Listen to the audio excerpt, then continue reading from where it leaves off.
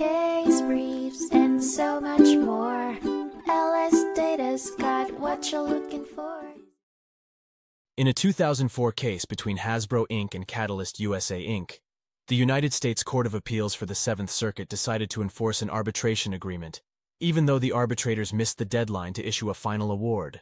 Hasbro had filed for arbitration in 1999 due to Catalyst's software performance issues, with the panel eventually granting Hasbro $799,839.93, but not before generating controversy regarding the award's untimeliness. Catalyst disputed the charges and moved to vacate the arbitration award in a district court in 2002, resulting in a ruling that the panel had exceeded their authority by waiting too long to issue a final award. However, upon appeal, the higher court reversed and remanded the case for enforcement of the award, asserting that time had not been a crucial factor in the arbitration agreement, and that the delay did not harm either party. Though the court criticized the panel's inadequate performance and lack of clarity regarding the conclusion of proceedings, it ultimately nullified the district court's judgment and ordered the enforcement of the arbitral award.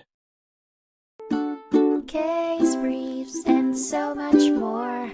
LS Data's got what you're looking for. Visit lsd.law, elevate your mind. Leave the stress of class.